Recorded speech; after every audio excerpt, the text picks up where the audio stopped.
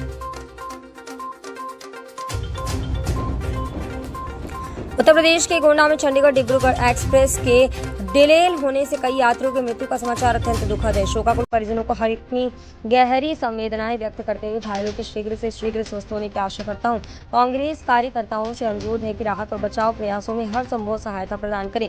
लगातार हो रही रेल दुर्घटनाएँ अत्यंत चिंताजनक है और सरकार के कुप्रबंधन और उपेक्षा का परिणाम है। कुछ दिनों पहले हुई लोको पायलट से चर्चा और हाल के ट्रेन हादसों पर रेलवे सुरक्षा कमिश्नर की रिपोर्ट भी यही स्पष्ट है।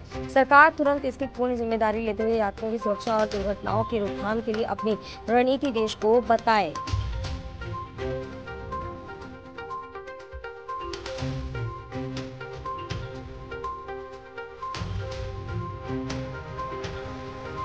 दोस्तों, वीडियो आपको अच्छी लगी हो तो वीडियो को लाइक करें, चैनल को सब्सक्राइब करें, हमारी वीडियो को शेयर करना बिल्कुल भी ना भूलें। मैं आपसे मिलती हूँ अगले वीडियो में। तो तब तक के लिए अपना ध्यान रखिए और खुश रहिए।